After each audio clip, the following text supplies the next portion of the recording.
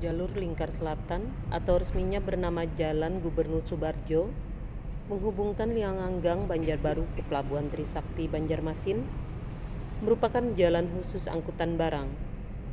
Sayangnya, ruas jalan yang cukup lebar dengan median yang juga besar tidak sepanjang jalan diberi penerangan lampu jalan. Hanya beberapa titik putaran arah yang diberikan lampu jalan, kemudian kawasan jembatan selebihnya banyak yang gelap, sehingga para pengendara harus cermat melihat kondisi jalan.